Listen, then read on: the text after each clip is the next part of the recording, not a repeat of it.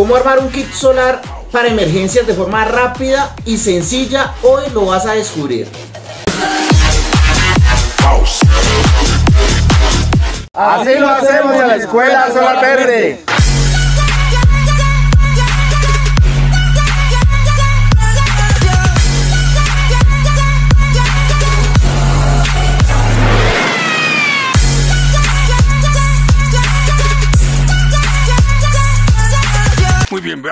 ¡Ay, el lado en castellano se arruinó de leer las instrucciones en francés! ¿De grill? ¿Qué rayos es eso? Para este kit solar de emergencia lo que vamos a utilizar es lo siguiente, un panel solar de 150 poli, un controlador PWM de 30 amperios, 12 voltios, una batería de 55 amperios, un inversor de 600 vatios 12 voltios y sus respectivos cables y protección AC. Bueno, aquí tenemos los elementos. Este panel es de 150 vatios policristalino. Por acá tenemos la batería de 55 amperios, el inversor, el controlador de carga, los cables que van del panel al controlador positivo negativo, los cables que van de la batería al controlador y los cables que van de la batería al inversor. Además de eso, hemos realizado esta extensión Aquí tenemos la clavija. Esa clavija la vamos a conectar en esta parte del inversor, que es la salida de corriente alterna, un toma. Vamos a conectar esa clavija con esta extensión. Vamos a pasarla por una protección AC, un breaker, para proteger el inversor. Y a la salida tenemos un toma doble para conectar nuestros electrodomésticos. En la parte trasera de nuestro panel solar vamos a encontrar conectores MS4, entonces hay que comprar conectores MS4 para nuestra extensión para bajar los cables del panel solar al controlador.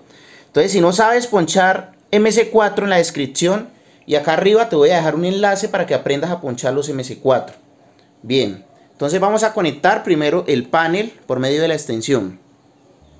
El cable rojo le hemos conectado el MS4 hembra porque el positivo del panel solar viene con conector macho. Entonces le hemos conectado la hembra al rojo. Y al negativo le hemos colocado un macho porque el negativo del panel solar viene con conector hembra. Ok, entonces vamos a conectar estos dos cables a la entrada del controlador. El controlador de carga en el primer puerto tiene el símbolo del panel solar positivo y negativo. Entonces vamos a conectar el positivo y el negativo. Bueno, ahí ya hemos conectado en el puerto del panel el positivo y el negativo de nuestro kit de emergencia. Si quieres aprender más de energía solar y seguir viendo este contenido, no olvides apoyar el canal suscribiéndote, dándole like, porque si no nos va a tocar cerrar este canal si no llegamos a diciembre con los 100.000 suscriptores. Nos tocará ponernos a hacer otra cosa. Aquí ya hemos conectado al puerto de la batería el positivo y el negativo debemos atornillar muy bien y meter muy bien los cables. ¿Quieres aprender todo lo relacionado con energía solar desde la comodidad de tu casa? Desde cualquier parte del mundo, ingresa a nuestro curso virtual, cuatro clases en vivo más el contenido de la plataforma. Aprovecha y reclama tu beca del 80%. Más información en la descripción de este video. Entonces ahora vamos a proceder a conectar la batería. Aquí ya hemos conectado el positivo y el negativo del puerto de la batería y automáticamente se enciende el controlador de carga. Y nos está señalando de que el panel solar en estos momentos está cargando la batería. A pesar de que el panel solar está de espaldas alcanza a recibir radiación indirecta de, de los rayos del sol. Entonces está detectando el controlador de que está cargando la batería. En estos momentos hemos conectado ya el puerto de la batería el puerto puerto del panel y el puerto de la batería. Cada puerto tiene su símbolo de positivo, negativo, positivo, negativo. Entonces vamos a conectar ahora el inversor a los puertos de la batería. En este momento hemos conectado el negativo del inversor y el positivo del inversor.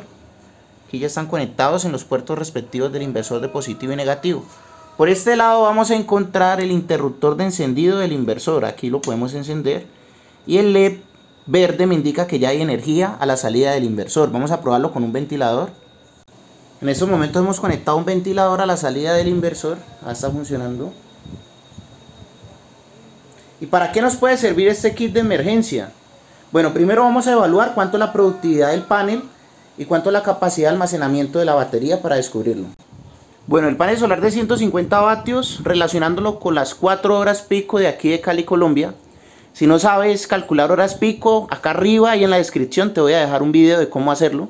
Nos daría 600 vatios día de producción ese panel. Y la batería nos podría dar una capacidad de almacenamiento de 55 amperios por 12 voltios. Sería de 660 vatios de almacenamiento al 100%.